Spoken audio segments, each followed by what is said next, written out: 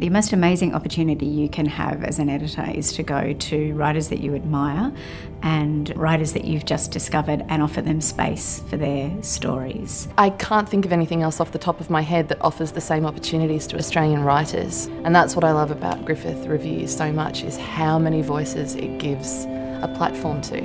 Passion. Passion is what makes Griffith Review remarkable. People care about what they write about and it shows.